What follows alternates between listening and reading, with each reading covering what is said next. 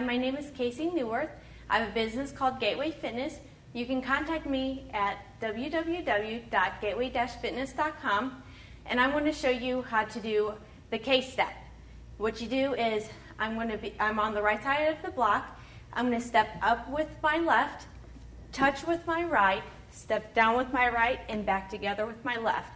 Go the opposite way going back. So step up with your left, touch with your right, step down with your right, and back together with your left. And this only works one side, but the count goes one, two, three, four, five, six, seven, eight. One, two, three, four, five, six, seven, eight. To work the opposite side, you just stand on the opposite side of the block, step up with your right, touch with your left, step down with the left, touch back down with your right, and the opposite way going back. So the count is one, two, three, four, five, six, seven, eight. One, two, three, four, five, six, seven,